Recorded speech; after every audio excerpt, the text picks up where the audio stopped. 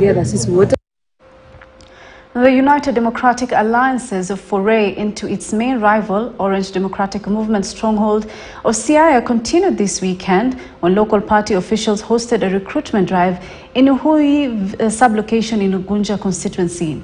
Now, the drive led by Siaya UDA politicians Frederick Odhiambo saw more than 300 members join the ruling party. He was speaking at the Uhui dispensary grounds. Doris said it was the high time Kenyans decided to adopt democracy and practice it instead of shifting goalposts whenever events do not favor them. He called on Kenyans to fully support President William Ruto's government to enable deliver on its promises.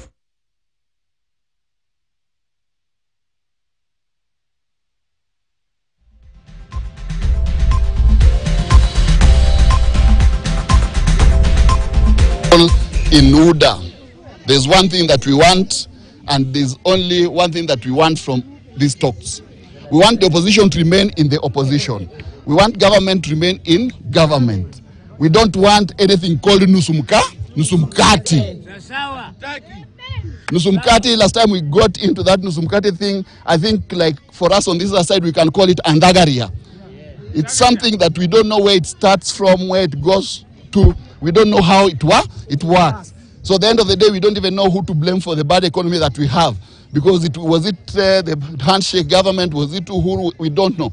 So we urge our president, it's good to talk, talk with our leader, talk with our Baba, but they should not be anything like Nusumka, Nusumkati.